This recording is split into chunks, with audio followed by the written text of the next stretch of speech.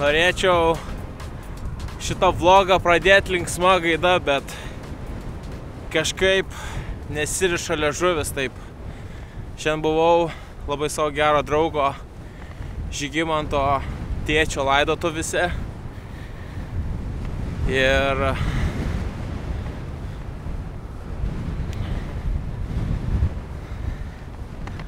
liūdna tikrai, kai turi taip greit atsisveikinti su tėčiu, tada pagalvoji apie savo tėvus, nes jo tėčiui buvo 49, beveik tiek pat, kiek ir mano tėčiui.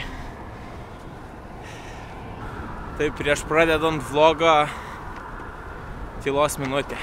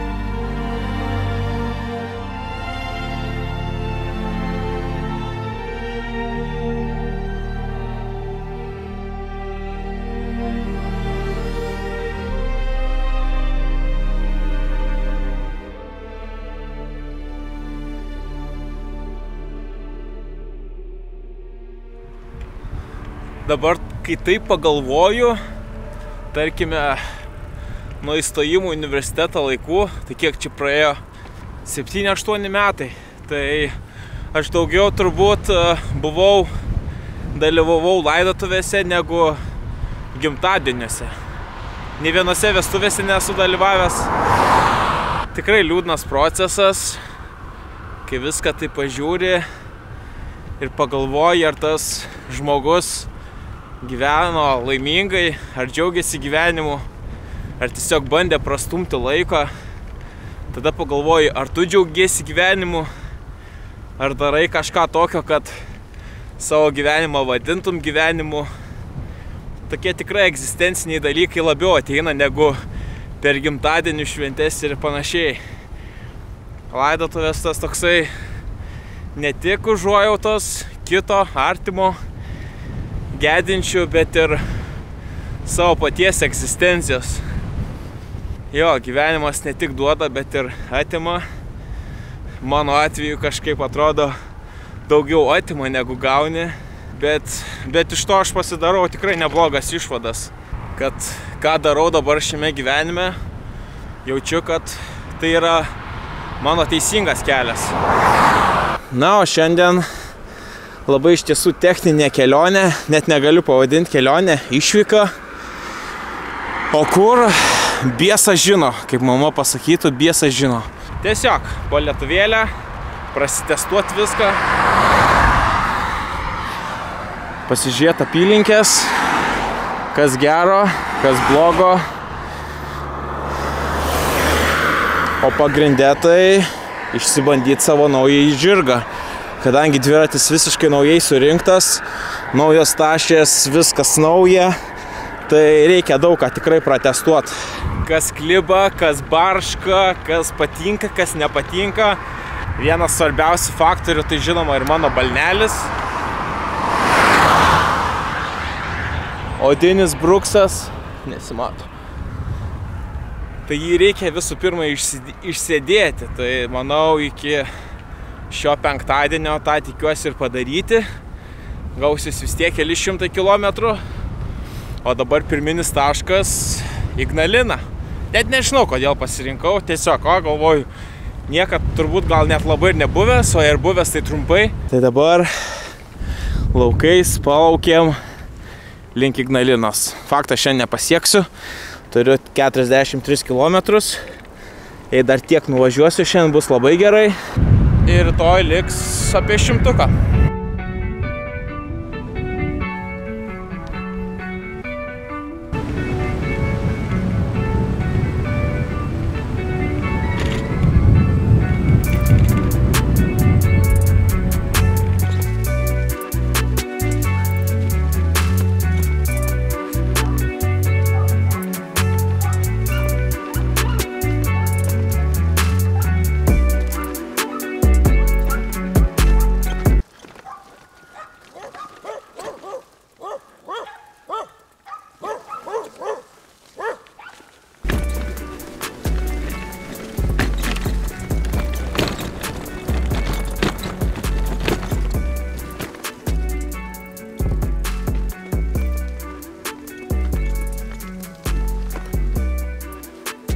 Biški nuvažiavau nuo plento. Čia kur važiavau per, per Jonavą.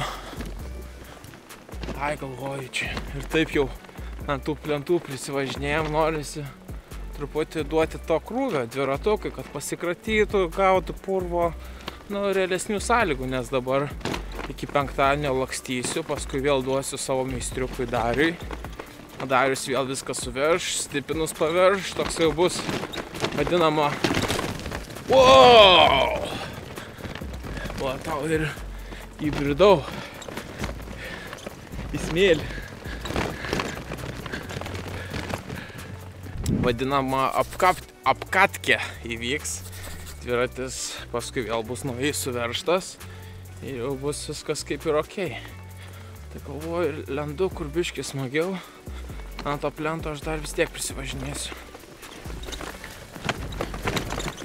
O, čia tokie smėlynai.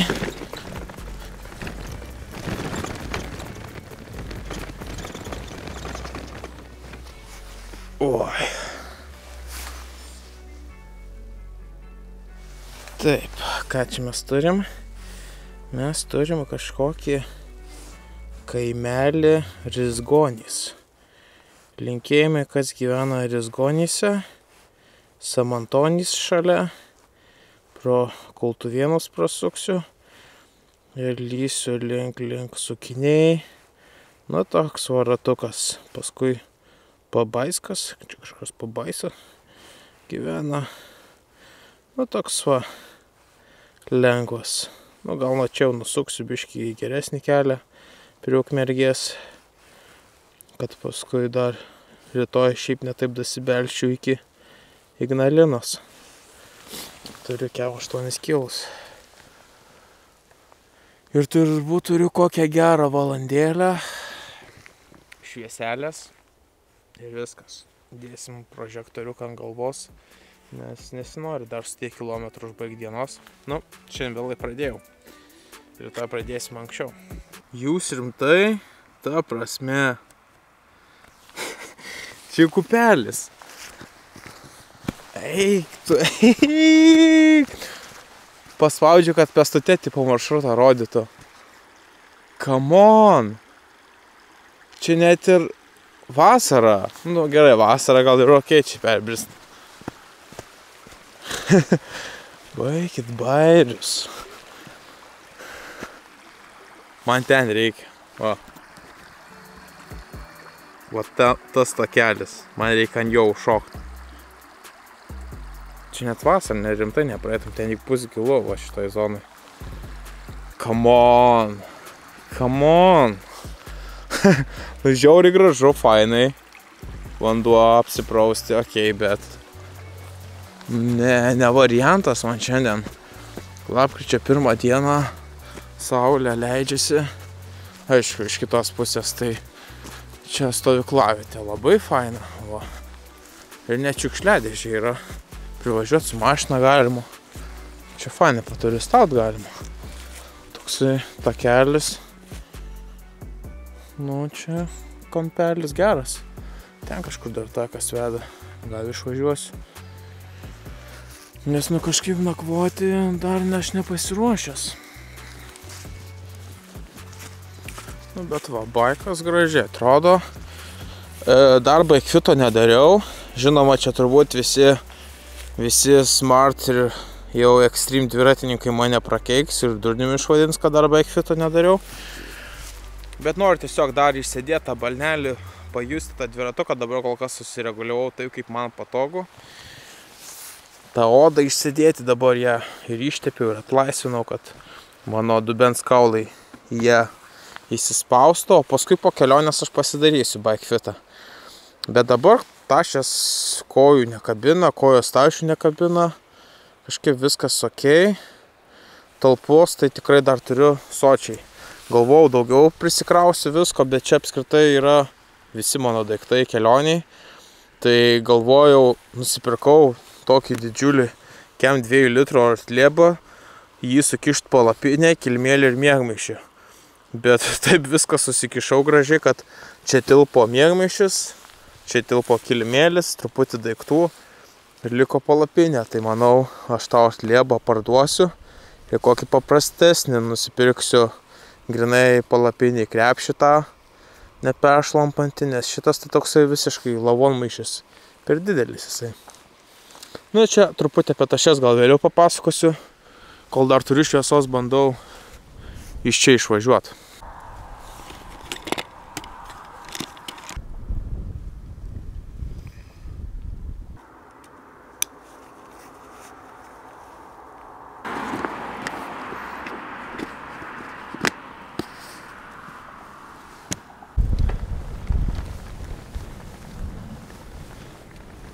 Nu ką, šešios vakaro. Visiška tamsa. Žvaigždės matosi. Eina savo.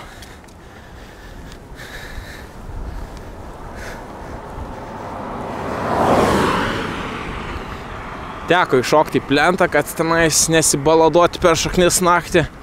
Ne pats maloniausias ir ne pats saugiausias dalykas daryti tą naktį. Dieną tai fun, bet Geriau čia pasilikti plentą. Turim gerą plentą, kažkur jis veda. Už 5 km turėsiu nusukti. Dar gerą, manau, valandėlę pasuksiu pedalus ir kažkur bazuosios į miškelę ir prie laukų. Gerai, einam apsipirkti biškį.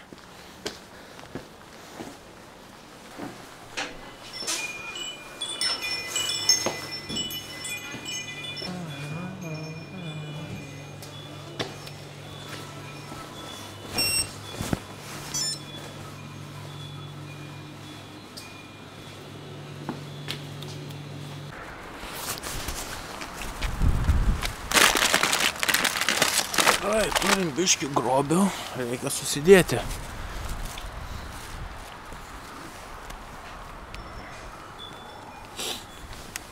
O tai kaip su nakvynė, tai kur tu dabar Palapiniai?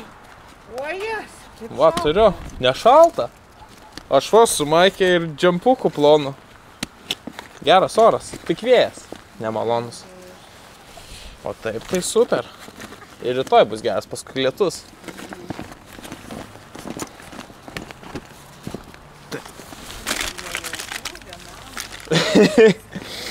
ne, viskas gerai.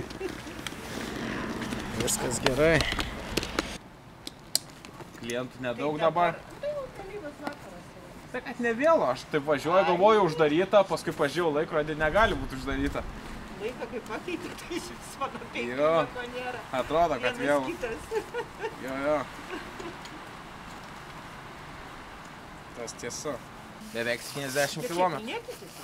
Ne? Kaunietis. Ai, kaunietis. Jo, aš kaunietis. Iš Kauno.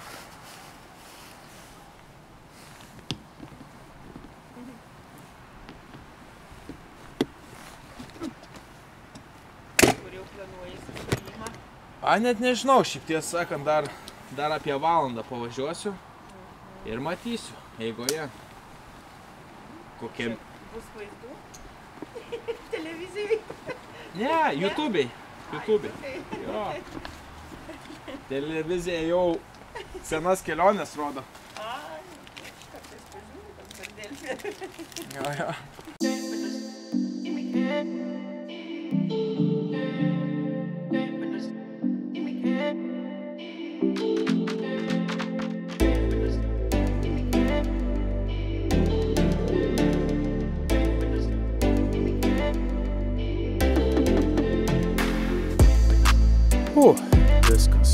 Manau, šiandien užtenka. Jau kojytės šiknytė jaučiasi. Nu, vakar dar minėjau tom 7 kilus, tai jau čia po truputį. Susiradau tokį miškelį, laukas, tokia nebloga užuovėje. Dviratukas. Tai va čia kur nors ir nusimesiu. Palatkė bus ok. Ką čia mes turim nuvažiavę šiandien? Per vėjus. Na aišku, tas vėjas tai sąlyginis dalykas.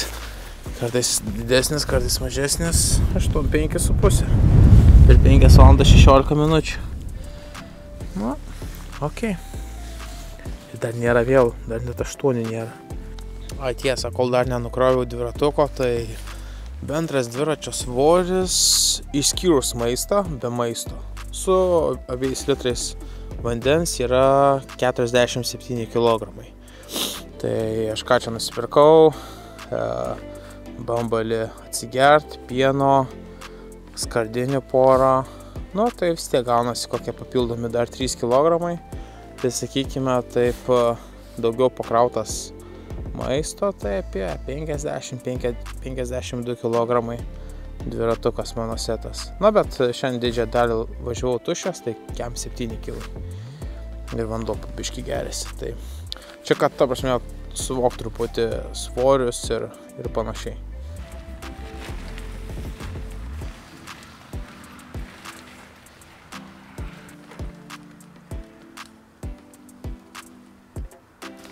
Na, ponai ir ponios. Tadam. Pats mėliausias vaizdas. Norint statistikos, aš toj palapiniai pramegojau daugiau negu 300 naktų. Jop. Tai mano statistika. Tik šitoj palapiniai. E, ne, dar paskui prisideda Čilės palapinė, tai buvo visai kita. Tai jo, bendroji sumoj, jei neklystu, netoli metų. Kažkas tokio su palapinė jau pramegojęs. Daugiau turbūt negu metai. Žirgas paguldytas, tegul ilsisi. O interjeras jau išdėliotas.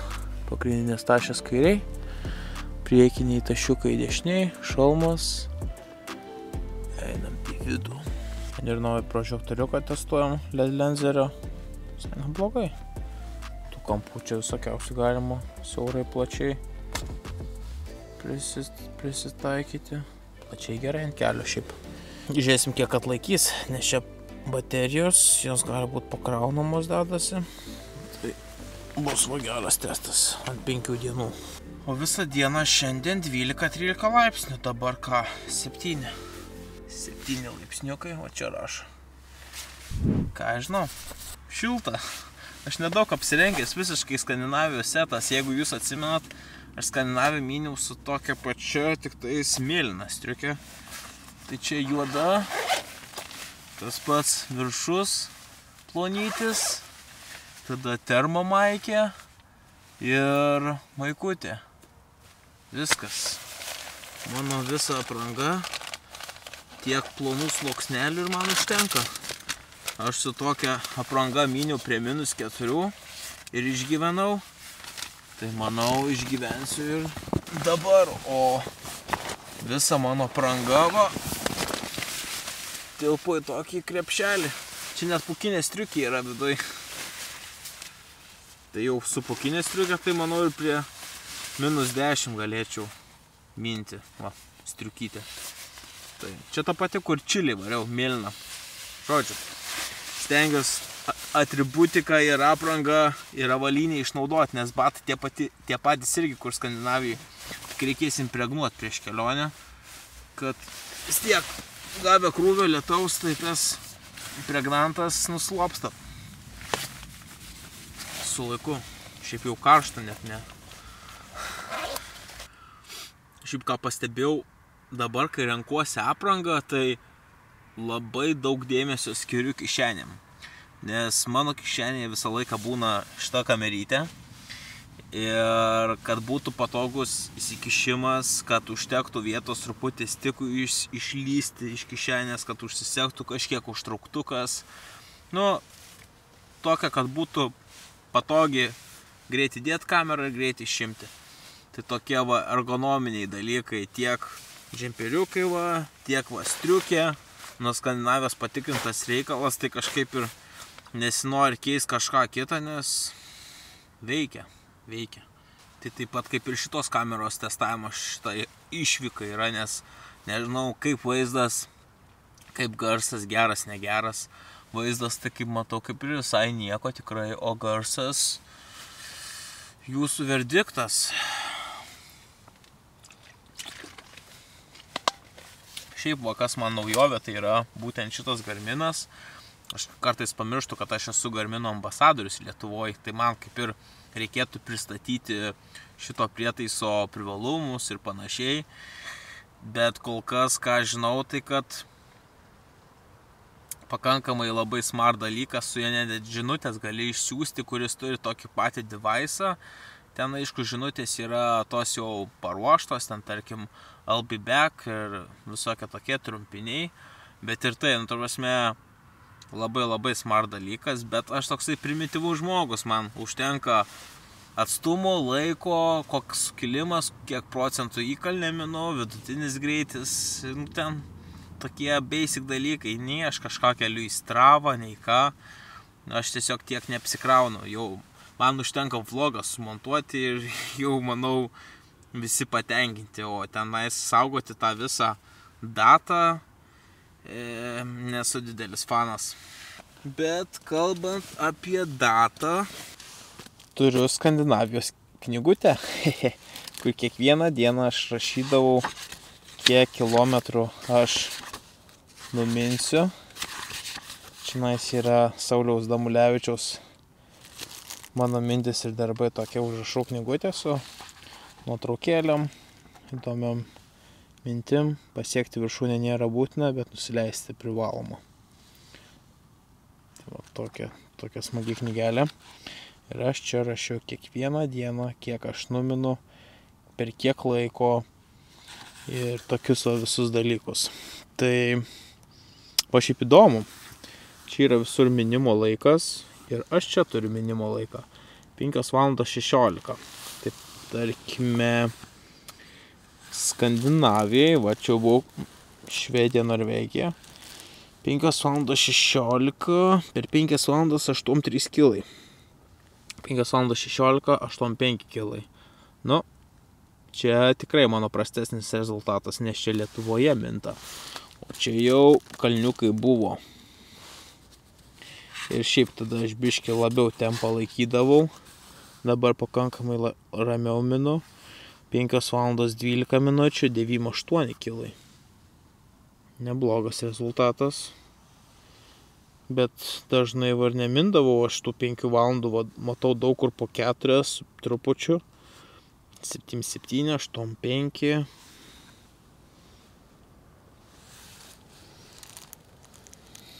Būdavo ir po pusantros valandos, bet tenais velniškai sunku. Čia man atrodo prie trolių liežuvio.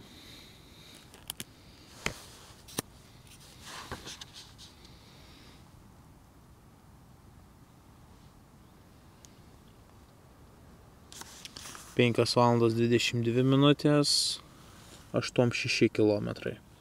Nu tai, va, panašus rezultatas. Jo. Nu, va, būdavo ir po 7 valandas. Įvairiai, labai, labai įvairiai. 5 valandos 21 minutė, 107 km. Nu jo, buvau, buvau greitesnis ir aišku, daugiau spaudžiau. Na, bet dabar čia nais testavimas. Ir gal dviratis čiučiu čia nais sunkesnis, nes tenais buvo apie 5 kg jau su maistu. Toksai pakrautas. Iš kitos pusės irgi diena dienai nelygi. Daugiau nusilydimo, daugiau kalniukų, vėjas, nevėjas, į kokį kelią papuoliai. Nu, čia labai daug faktorių, tai irgi sunku lyginti, bet va, smagu turėti va tokius užrašus. O ir pačiam po dviejų metų atsiversti tikrai yra fainai. Tai manau, kitoj kelionėje irgi tokį patį vesiu. To šitoj pačioj knygutėje. Truputį per kelis puslapius toliau. Nusirašinėsiu nuo šito. Nu, vakarienį turim žemaitijos orškės, riebios. Klasika. Ir pieną. Dar šiaip turiu bandelę didelę. Bijo porą jogurtų. Atsikerda. Skartinė. Žuvies. Ar kažko. Skumbrija. Tomačiukose. Klasika. Čia bus pusryčiam. Dabar biški baltymų išausim. Gal dar bandelės atsikasiu. Ir atsigulsiu. Šiandien nemontuosiu.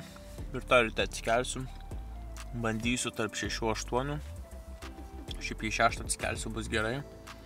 Susimontuosiu, pasidarysiu darbus ir bus kol kas ilgesnė diena. Nes šiandien sakau, užtrukau laidotuvėse. Tai taip gavos, kad pusę laiko šviesoj, pusę laiko tamsoj myniu. Rytoj tikiuosi su šviesa atvažiuosiu iki Ignalinos. Pasižiūrėsim, kas ten. O paskui kur važiuosiu, net neįsivaizduoju. net neįsivaizduoju. Nu, pasižiūrėsiu žemėlapį, kas smagiau. Ir tiek. Tai va, ačiū, kad buvo šiandien. Ačiū visiems jums, kurie prisidedat prie mano kūrybos, kurie per Patreoną prisideda, kurie per YouTube prisideda ir, ir kitas platformas. Tai ačiū jums ir susimatome rytoj. Nepamirškit užsiprenumeruoti kanalo, aš dar gyvas, nebijokit, kelionės planuoju, todėl toksai esu busy ir nenoriu tų kelionių dar atskleisti, todėl nenoriu ir dalintis, tas ir trukdo vloginti kasdieną, nors vlogų tai pasilgau. Pasilgau vloginti, bet dar, kaip sakoma, kantrybė darybė, tai palinkėsiu jums kantrybės darybės. Iki ryt. Ciao.